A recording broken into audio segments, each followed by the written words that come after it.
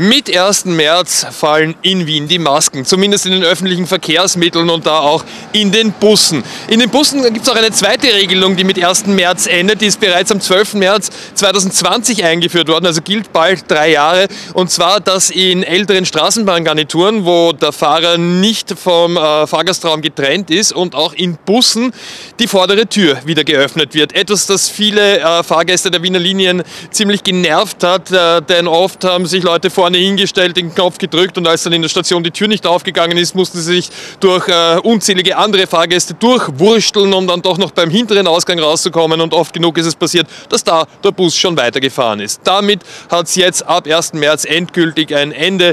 Die Regelung, die endet, Gott sei Dank.